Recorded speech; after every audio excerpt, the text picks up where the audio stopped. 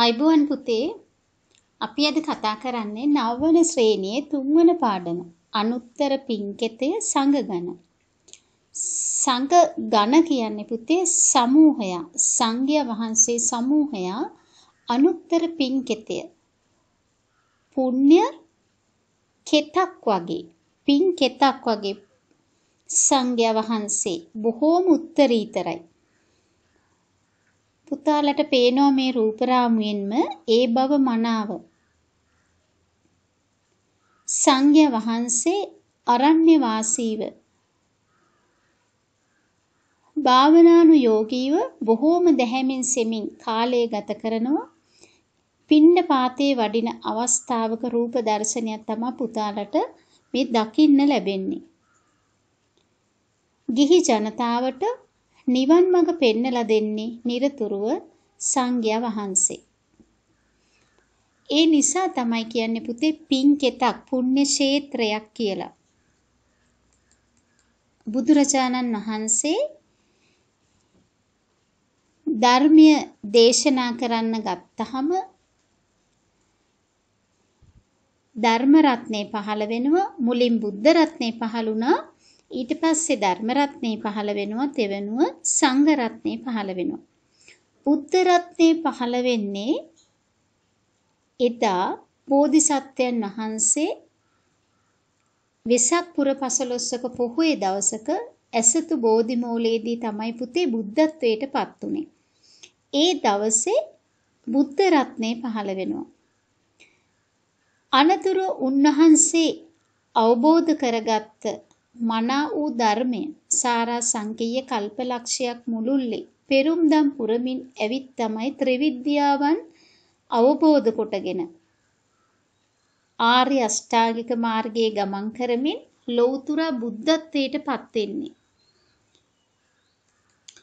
උන්වහන්සේ තනියෙන්මයි බුද්ධත්වයට පත් වෙන්නේ කිසිම ගුරුවරයෙක්ගේ පිහිටක් සරණක් නොමැතිව පුතාලට මතක ඇති භාර්ගව තාපසතුමා ආලාර කාලාම ගුරුතුමා උද්දකරාම පුත්ත ගුරුතුමා කියන මේ ගුරුවරුන් තුන්දෙනාගේ ශිල්ප ඉගෙන ගත්තා. හැබැයි සසර මොකද්ද මේ දුක්ඛ සත්‍යය මොකද්ද කියන එක නිවන් මඟ මොකද්ද කියන එක උන්වහන්සේට ඒ අයගෙන් ඉගෙන ගන්න බැරි වුණා. ඒ නිසා ඒ ගුරුවරු තුන්දෙනාගෙන් ඉගෙනගත්ත ශිල්පේ මදි බව වැටහුණ නිසා උන්වහන්සේ එතනිනුත් පිට වෙලා ගිහිල්ලා තමයි දුෂ්කර ක්‍රියා කළේ. අවුරුදු 6කට පස්සේ උන්වහන්සේට අවබෝධ වෙනවා. ඒ නිවන් මඟ නොවන බව. අත්ත කිලමතානු යෝගයත් ඒ කියන්නේ ශරීරයට දැඩිසේ දුක් දීමත් කාමසුකල්ලිකානු යෝගයත් ශරීරයට දැඩිසේ සැපදීමත් කියන අන්ත දෙකම අතහැරලා තමයි මැදුම් පිළිවෙත ඔස්සේ ගමන් කළේ. මධ්‍යම ප්‍රතිපදාව ඔස්සේ ගමන් කරලා එදා ඇසතු බෝධි මූලයේදී මේ විදියට උන්වහන්සේ සම්මා සම්බුද්ධත්වයට පත් වුණා. ඒ සමගම තමයි ධර්ම රත්නයක් පහළ වෙන්නේ. උන්වහන්සේ අවබෝධ කරගත්ත ධර්මය. සත්සතිය ගත කිරීමේදී පුතාලට මතක ඇති උන්වහන්සේ ඒ අවස්ථාවේ නැවත නැවත මෙනෙහි කරනවා. අවබෝධ කරගත්ත ගැඹුරුම දහම් කොටස් පටිච්ච සමුප්පාදය අභිධර්මය ආදී වශයෙන්. එහෙනම් ධර්ම රත්නේ පහළ වුණෙත් එදා බෝධිසත්වයන් වහන්සේ බුද්ධත්වයට පත්වනවත් එක්කමයි. සංඝ රත්නේ පහළ වෙන්නේ ඊට පස්සේ සත්සතිය ගත කරලා අවසානයේදී උන්වහන්සේ බලනවා තමන් වහන්සේ අවබෝධ කරගත්ත ධර්මී කාටද දේශනා කරන්න කියලා. ඒ අනුව එදා බරණැස ඉසිපතනාරාමයේදී තමයි පස්වක තවුසන් වහන්සේලාට ධර්මයේ දේශනා කරේ. පස්වක තවුසන් වහන්සේලා පැවිදි වීමෙන් පස්වක භික්ෂුන් වහන්සේලා වෙනවා. ඒ විදිහට තමයි පුතේදා ඇසල පොහෝ දවසේ සංඝ රත්නේ පහළ වෙන්නේ. මේ විදියට බුද්ධ රත්නේ, ධර්ම රත්නේ, සංඝ රත්නේ කියන ත්‍රිවිධ රත්නේම පහළ වෙනවා ලෞතර බුදු පියාණන් වහන්සේගේ පහළවීමත් සමග. ඒ කාලෙදී පුතාලට මතක ඇති බොහෝම පුංචි වයසේදී රජකුමාරවරු සිටු කුමාරවරු නොයෙකුත් පහත් කුලවල අය ආදී වශයෙන් බුදුරජාණන් වහන්සේ ළඟ පැවිදි වෙනවා. හැබැයි ඒ පුංචි අය බොහෝම පොඩි වයසේ පැවිද්ද ලැබපු නිසා එදා මේ රූපරාමුවේ දකින ආකාරයට බොහෝසේ පුංචි හාමුදුරුවරු ශාසනයට එකතු වුණා. නමුත් පුතේ අන්තිමට සුද්ධෝදන රජතුමා ඉල්ලීමක් කරනවා දෙමාපියන්ගේ අවසරයකින් තොරව පුංචි ළමයි ගෙනියලා මහාන කරන්න එපා කියලා.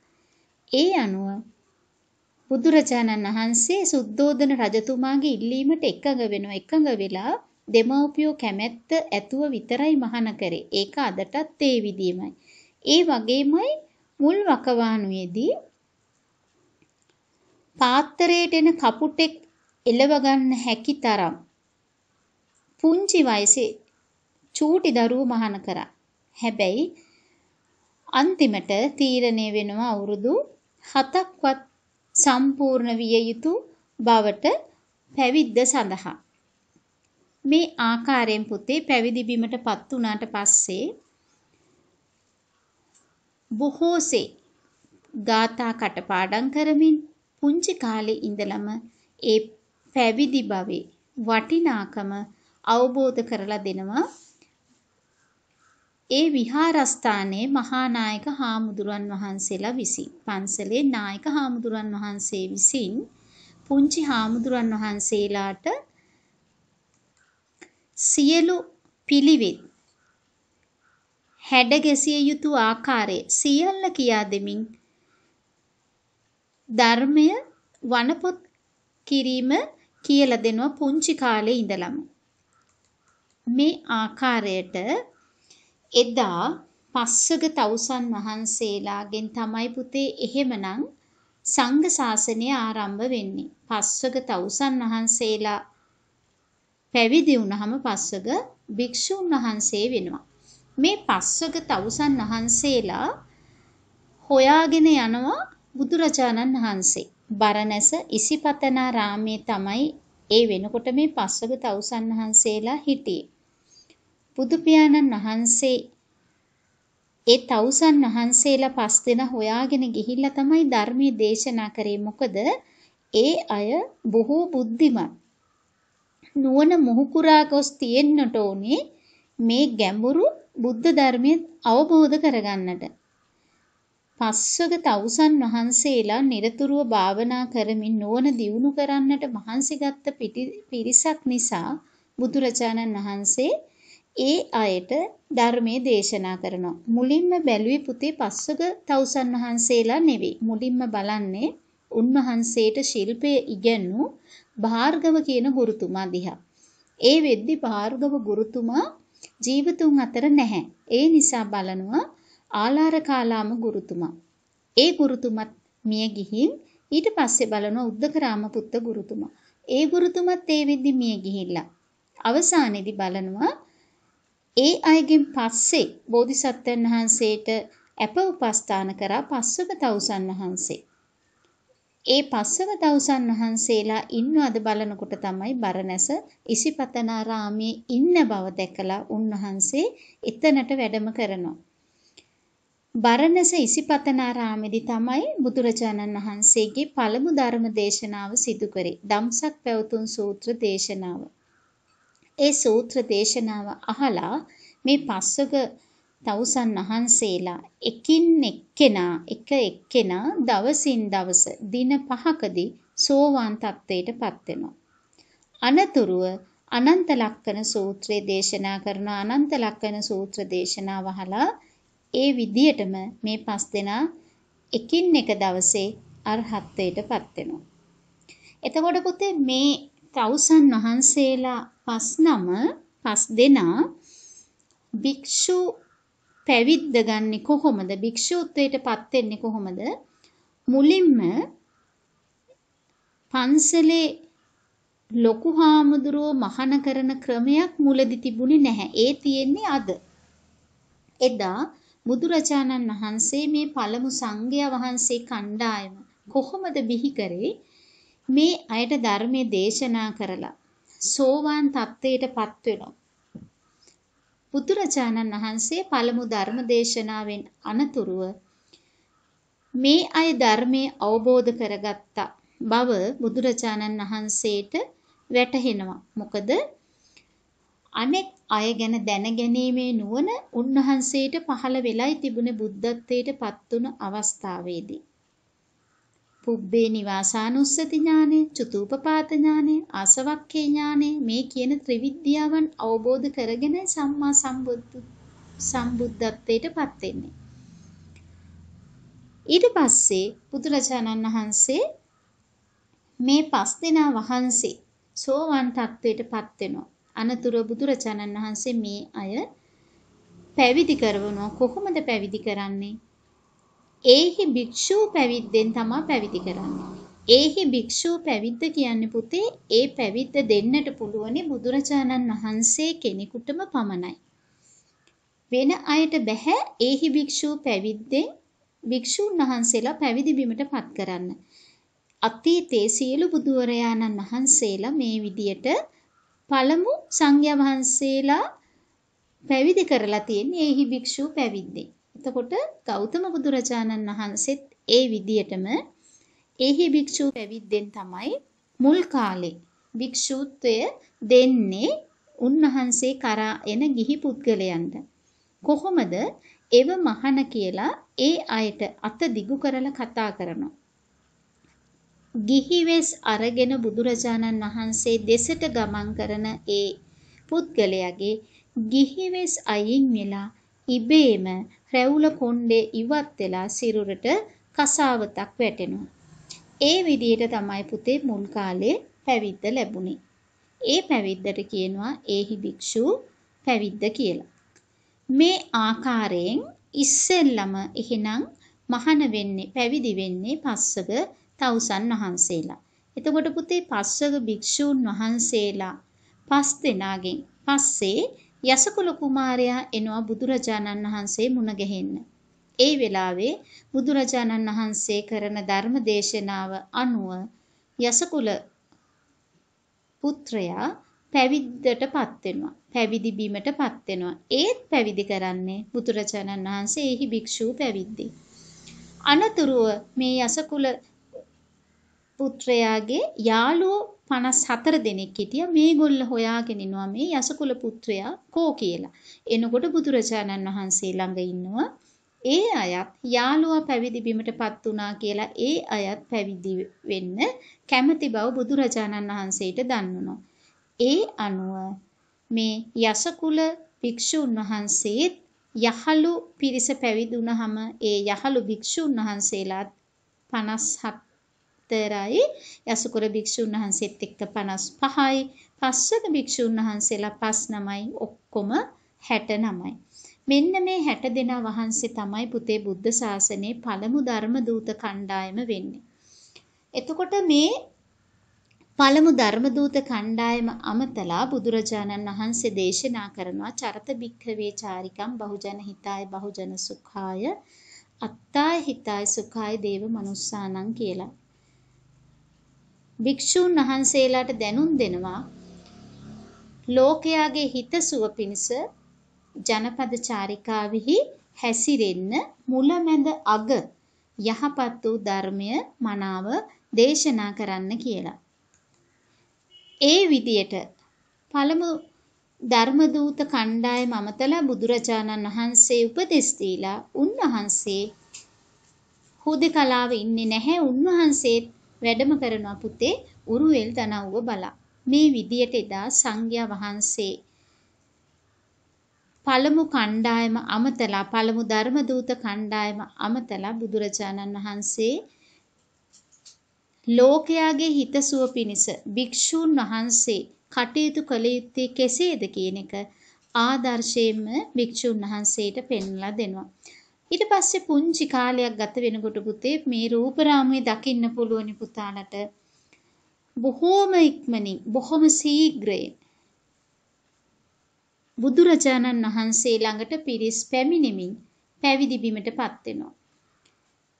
ටික කාලයක් යනකොට බද්ද වග්ගිය කියන කුමාරවරු 30 දෙනෙක් ඇවිල්ලා බුදුරජාණන් වහන්සේ ළඟ පැවිදි වෙනවා. ඒ බද්ද වග්ගිය කුමාරවරු පැවිදුනහම බද්ද වග්ගිය භික්ෂුන් වහන්සේලා වෙනවා. ඒ පිරිස තමයි බුද්ධ ශාසනයේ දෙවන ධර්ම දූත පිරිස වෙන්නේ. ඒ වගේම උරුවේල කාශ්‍යප, නදී කාශ්‍යප, ගයා කාශ්‍යප කියන ජටිල සහෝදරයෝ තුන්දෙනා බුදුරජාණන් වහන්සේ ළඟ පැවිදි වෙනවා. මේ අය පුතේ අන්‍යාගමික අය. බුදුදහම පහළ වෙන්නේ බුදුරජාණන් වහන්සේගෙන් පස්සේ. ඊට කලින් බුදුදහම කියලා දෙයක් තිබුණේ නැහැ ඉන්දියාවේ.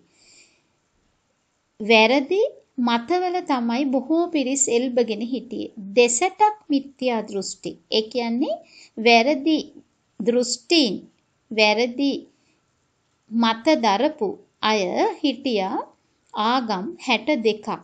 නාය ආගමික නායකයෝ 62ක් හිටියා. ඒ අය යටතේ තමයි ඉගැන්වීම් කටයුතු සිද්ධ වුනේ. එතකොට මේ ජටිල සහෝදරයෝ වැඩිමහල්ම උරුවේල කාශ්‍යප උරුවේල කාශ්‍යප බුදුදහම වැළඳ ගන්නවා. වැළඳ ගත්තට පස්සේ ඒ අයගේ ඇඳුම් ජටා ගඟ දිගේ පහළට යනවා දැක්කහම හොයලා බලනවා. දෙවෙනි සහෝදරයා නදී කාශ්‍යප. එයාගේ පිරිස ඊට පස්සේ ගිහිල්ලා සසුන්ගත වෙනවා. ඒ අය පැවිදුණ බව ආරංචි වුනහම ගයා කාශ්‍යපගේ පිරිස 200යි. ඒ අයත් ගිහිල්ලා පැවිදි වෙනවා. ওই විදියට පුතේ උරුවෙල කාශ්‍යප, නදී කාශ්‍යප, ගයා කාශ්‍යප කියන ජටිල සහෝදරයෝ තුන් දෙනා ඒ අයගේ අතවැසි පිරිස 500යි 300යි 200යි දහසකුත් සමග ඒ අයත් පැවිදි බිමටපත් වෙනවා. මෙන්න මේ රූපරාමුවේ දකින්න තියෙන ආකාරයෙන් පුංචි කාලයක් තුල ඉක්මනින්ම බුදුදහම ව්‍යාප්ත වෙලා ගියා. සංඝ සසුන ශීඝ්‍ර වර්ධනයකටපත් වෙනවා. එදා බුදුරජාණන් වහන්සේ ඒ අය පැවිදි කරේ ඒහි භික්ෂූ පැවිද්දේ. නමුත් පුතේ පස්සේ කාලේ වෙනකොට භික්ෂුන් වහන්සේලා ඉල්ලා හිටිනවා බුදුරජාණන් වහන්සේගෙන් මොකද අද වගේ ලොකු මාර්ග පහසුකම් තිබුණේ නැහැ ඉදා. බොහෝ දුර බැහැර පයින් ගමන් කරලා පයින් වැඩම කරලා තමයි උන්වහන්සේලා ජනතාවට ධර්මයේ දේශනා කරේ. ඒ ඒ තැන්වලදී පැවිදි වෙන්න කැමති බව කිව්වහම ගිහි අය පැවිදි වෙස් ගන්වන්නට බුදුරජාණන් වහන්සේ ළඟටම එක්කෙන්න වෙනවා.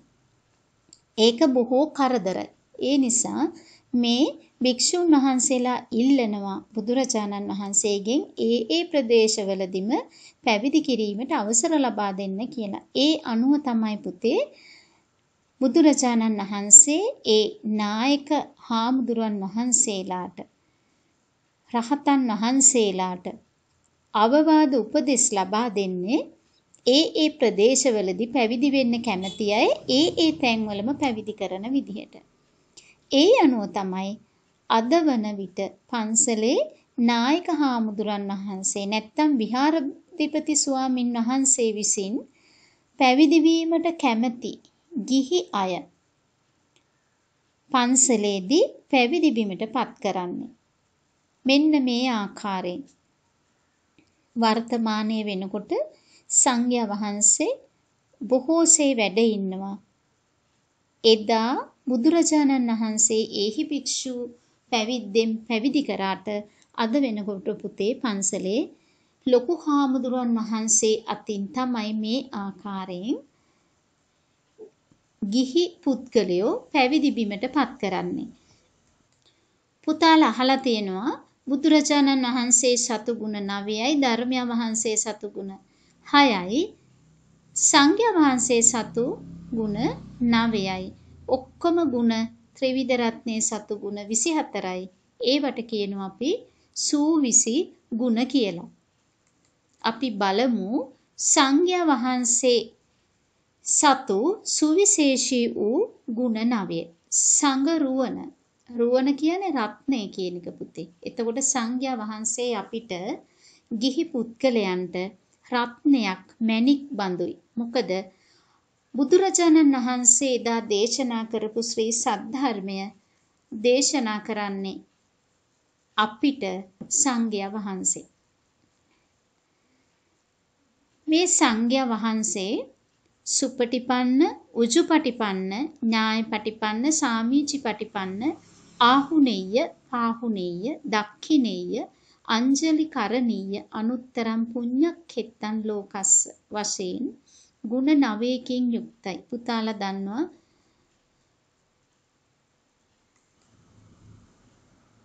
සුපටිපන්නෝ භගවතෝ ශාවක සංඝෝ උජුපටිපන්නෝ භගවතෝ ශාවක සංඝෝ ආදී වශයෙන් අපි උදේ හවස බුදුරජාණන් වහන්සේ ධර්මය වහන්සේ සංඝයා වහන්සේ අපි වන්දනය කරනවා. හැබැයි මේ ගාථාවේ අර්ථය අපි නොදැන පුරුද්දටයි කියන්නේ. අපි හොඳින් බලමු පුතේ මේ සංඝයා වහන්සේ සතු ಗುಣ එකින් එක. තුන්වෙනි පාඩම 16 17 18 19 කියන පිටු ටික අපි පෙරලා ගනිමු පුතේ. සුපටිපන්න කියන්නේ සු කියන්නේ මනාව. එහෙනම් පටිපන්න සුපටිපන්න මනා පිළිවෙත් ඇති බැවින් සංඝයා වහන්සේ සුපටිපන්න වෙනසේක. ඒ කියන්නේ පුතේ රාග ద్వේෂ මෝහ නැති කරලා නිර්වාණ මාර්ගය ගමන් කරන බැවින්. ඒ වගේම උජු පටිපන්න. උජු කියන්නේ ඍජු කියන එක. අදිසීල අදිචිත්ත අදිප්‍රඥාවෙන් යුක්තව ඍජු ප්‍රතිපත්තියෙහි. ඍජු කියන්නේ ඇද නැති.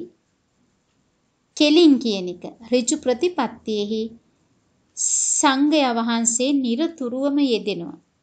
ඒ නිසා උන්වහන්සේ උජු පටිපන්නයි. ආර්ය අෂ්ටාංගික මාර්ගයේ ගමන් කරමින් නිර්වාණය අවබෝධයටමයි කටයුතු කරන්නේ. එබැවින් උන්වහන්සේ උජුපටිපන්න වනසේක. ඥාය පටිපන්න. ආර්ය අෂ්ටාංගික මාර්ගයේ ගමන් කරමින් නිවන් මඟ සාදා දෙන පිළිවෙත් දරන බැවින් සංඝයා වහන්සේ ඥාය පටිපන්න වනසේක. සාමීචි පටිපන්න ගරු බුහුමන් ලැබීමට සුදුසු ආර්ය ප්‍රතිපදාවක් පුරන හේන් සංඝයා වහන්සේ සාමීචි පටිපන්න වනසේක.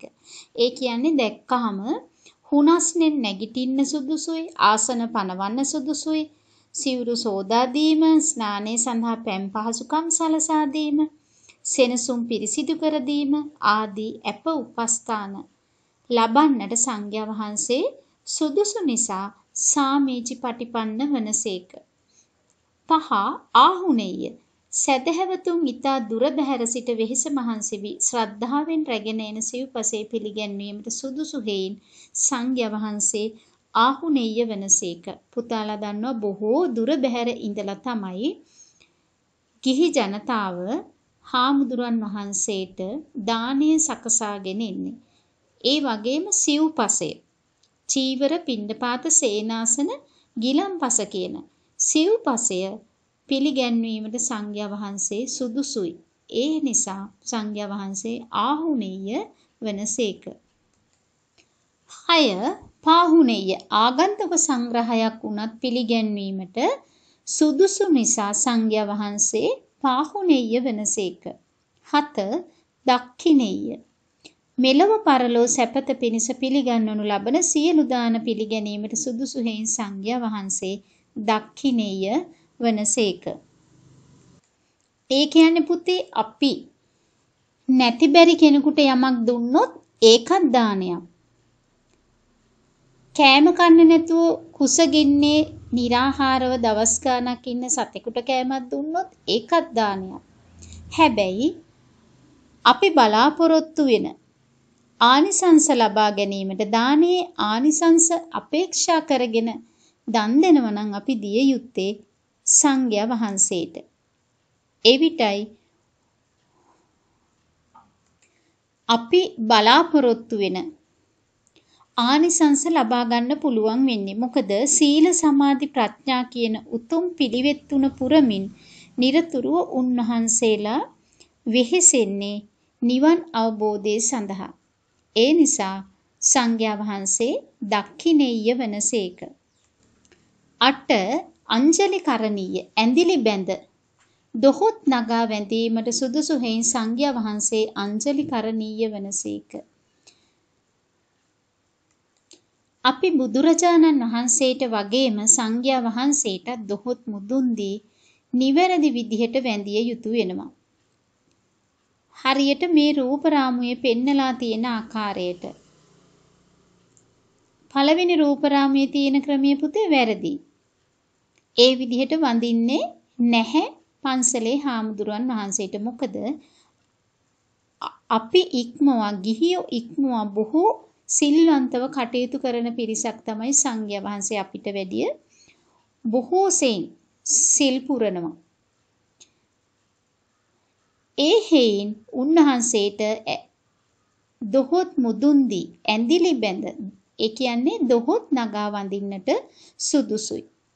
දෙවෙනි රූප රාමුවේ පේන ආකාරයට දොහොත් මුදුන් දීලා පසඟ පිහිටුවලා තමයි අපි වඳින්න ඕනේ. බුදුරජාණන් වහන්සේට වගේම ධර්මය වහන්සේට වගේම සංඝයා වහන්සේට වැඳිය යුත්තේ පසඟ පිහිටවලා.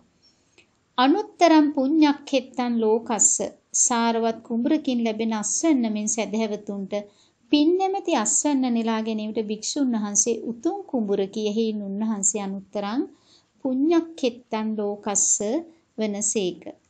ඒ කියන්නේ පුතේ ගිහියවන අපිට සංඝයා වහන්සේ තමයි নিরතුරුව නිර්වාණය පෙන්නලා දෙන්නේ. නිවන නැමැති අස්වැන්න අපිට නෙලා ගන්න. අපි තුල ශ්‍රද්ධාව ඇතිවන ආකාරයෙන් ධර්මයේ දේශනා කරමින් අපි ඒ මඟ ගමන් කරන්නට මඟ සලසන්නේ අපේ සංඝයා වහන්සේලා. සංඝයා වහන්සේලා නිසා තමයි බුදුරජාණන් වහන්සේ දේශනා කරපු ඒ ධර්ම මාර්ගයේ අපිට ගමන් කරන්න පුළුවන් වෙලා තියෙන්නේ.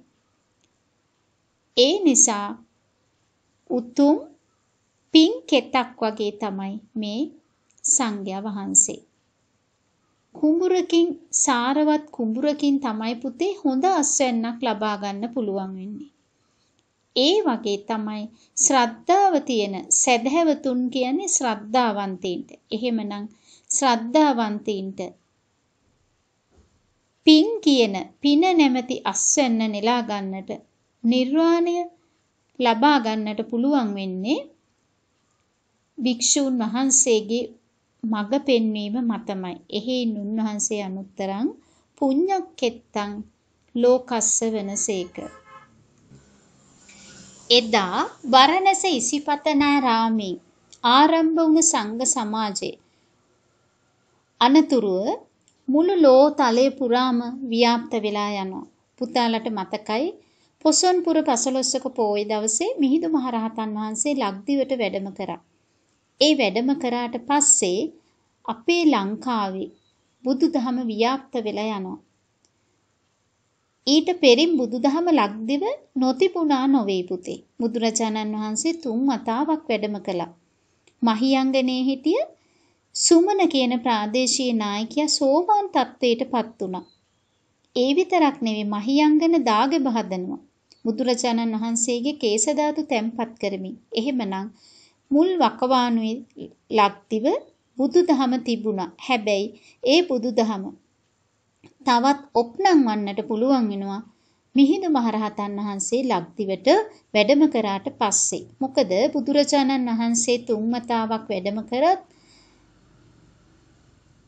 එදා තිස්ස රජතුමා මිහිඳු රහත් මහරහතන් වහන්සේ වැඩම කරද්දී සතුන් දඩේමේ තමයි යෙදී හිටියේ. ඒ කියන්නේ විනෝදේ සඳහා කරේ සත්ත්‍ය දඩේම.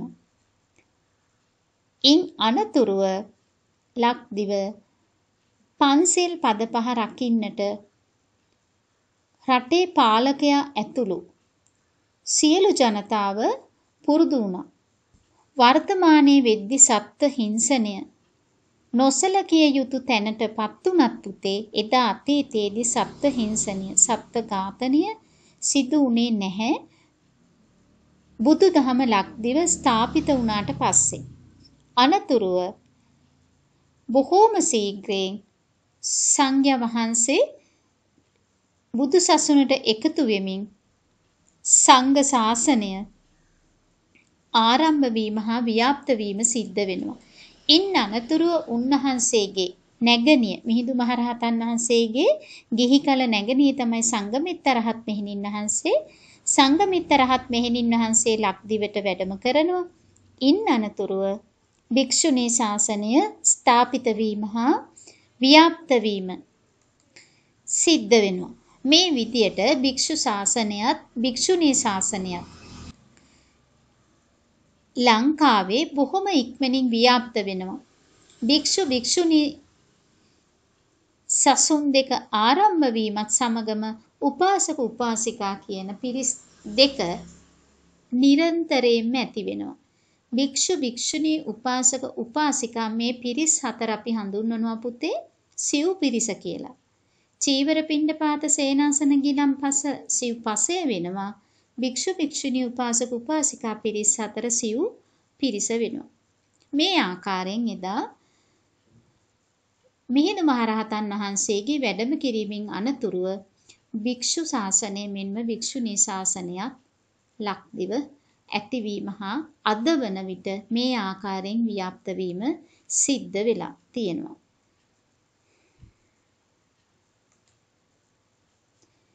මේ ආකාරයට පුතේ අද වන විට භික්ෂු ශාසනයත් භික්ෂු ශාසනයත් ශීඝ්‍රයෙන් ලක්දිව පුරා ව්‍යාප්ත වීම සිද්ධ වෙනවා. අපි බලමු පුතේ 21 පිටුව ක්‍රියාකාරකම පළවෙනි ප්‍රශ්නේ සුපටිපන්නෝ පාඨය නිවරදිව සජ්ජායනය කරන්න. ඒක පුතාලට පුළුවනි.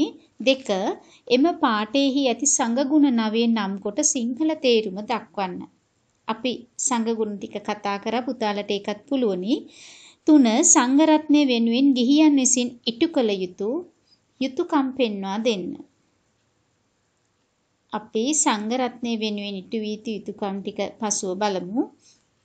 පැවරුම ආසන්න රෝහලක රෝගීව වැඩ සිටින භික්ෂුන් වහන්සේලාට උපස්ථාන කිරීමට සුදුසු වැඩපිළිවෙලක් ගුරු දෙගුරුන්ගේ උපදෙස් පරිදි සංවිධානය කරන්න.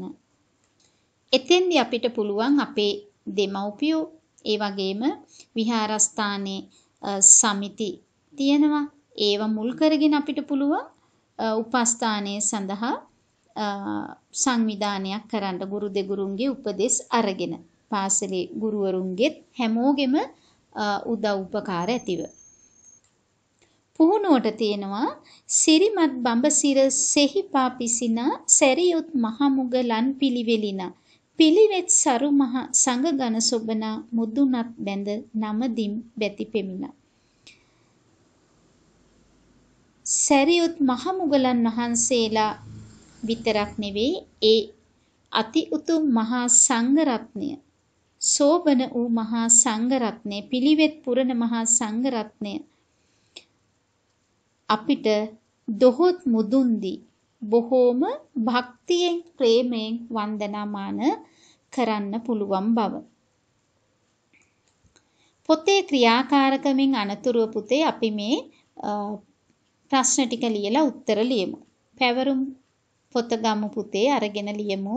පැවරුම 3 පළවෙනි ප්‍රශ්නේ සංඝ රත්නේ ආරම්භය සිදු වූයේ කවදාද ලියන්න. සංඝ රත්නේ ආරම්භය සිදු වූයේ කවදාද ලියන්න. දෙක ත්‍රිවිධ රත්නේ නම් කරන්න. තුන සංඝ රත්නේ ගුණ නවේලියා ගිහියන් විසින් සංඝයා වහන්සේට ඉටු කළ යුතු යුතුයකම් ලියා දක්වන්න. අපි ලියමු පුතේ උත්තර ටික ඉක්මනින්.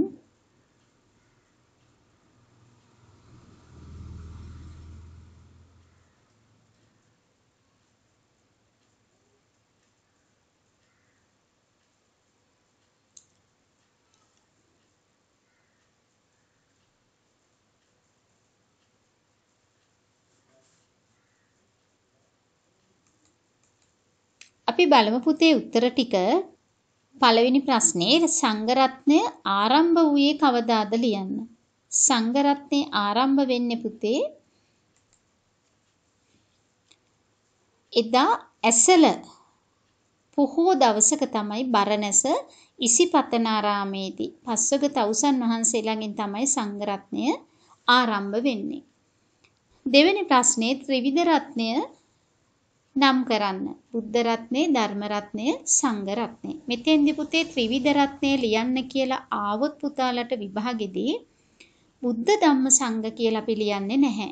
මොකද බුදුරජාණන් වහන්සේට බුද්ධ කියලා කතා කරන්න පුළුවන් වෙන්නේ තවත් බුදුරජාණන් වහන්සේ කෙනෙකුටම පමණයි. අපිට අයිතියක් නැහැ පුතේ බුදුරජාණන් වහන්සේට බුද්ධ කියලා කියන්න.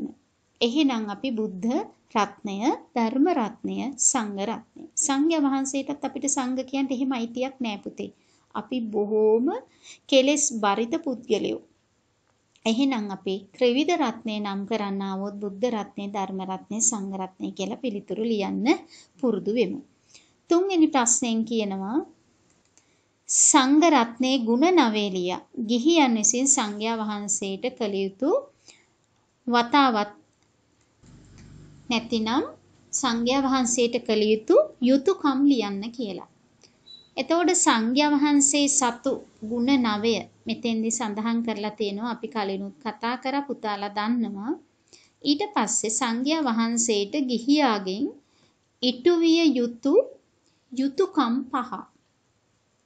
සිංහලෝවාද සූත්‍රයේදී බුදුරජාණන් වහන්සේ පෙන්නලා දෙනවා මේ ආකාරයෙන් මෛත්‍රී සහගතව ක්‍රියා කිරීම, මෛත්‍රී සහගතව කතා කිරීම, මෛත්‍රී සහගත සිත් පහළ කර ගැනීම, ශාසනික අවශ්‍යතා වෙනුවෙන් නිවසට පැමිණි විට සතුටින් පිළිගැනීම, ආමිසෙන් සංග්‍රහ කිරීම. චීවර පින්නපාත සේනාසන ගිලන්පස කියන සිව්පසයෙන් අපි සංඝයා වහන්සේට සංග්‍රහ කළ යුතු වෙනවා. මේ ආකාරයෙන් පුතේ ප්‍රශ්න තුනක් එක ප්‍රශ්නෙක කොටස් තුනක් මේ විදිහට ලැබුණම ලකුණු 2යි 3යි 5යි විදිහට තමයි ලකුණු 10 ලැබෙන්නේ. ඊට පස්සේ පුතාලා බලන්න පුතාලා ලකුණු කීයක් මේ ප්‍රශ්න ටිකට අරගත්තද කියලා මෙතෙන්දි පුතේ තුන්වෙනි ප්‍රශ්නේ මේ විදිහට එන්නේ නැහැ. නිරන්තරයෙන් එන්නේ තුන්වෙනි ප්‍රශ්නේ විස්තර කරන්න. නමුත් පුතාලා දන්නවා මෙතෙන්දි මම මේ විදිහට කෙටියෙන් සටහන් කිරීමට අරන් තියෙන්නේ මොකද පුතාලට? මේ කරුණු පහ මතක් කරගත යුතු බව දැන්වීම සඳහා සහ ටයිප් කිරීමේ පහසුව සඳහා. පුතාලට මෙතෙන්දි මේ විදිහට එන්නේ නැහැ. අනිවාර්යෙන් තුන්වෙනි කොටස එන්නේ විස්තර කරන්න. හොඳයි පුතේ. අපි පාඩම නවත්තමු. ආයිබෝවන්